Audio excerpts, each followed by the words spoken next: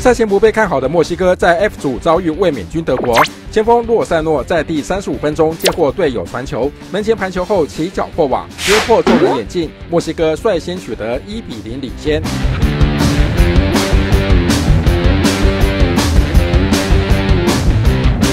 下半场德国试图反扑，却又屡攻不进，在欠缺临门一脚的情况下，中场以零比一落败，终止世足赛五连胜。德国本届会外赛十战全胜，三十九个净胜球数，打破会外赛纪录。赛前就被评估是冠军大热门，没想到竟输给不被看好的墨西哥。体育中心蔡玉龙综合报道。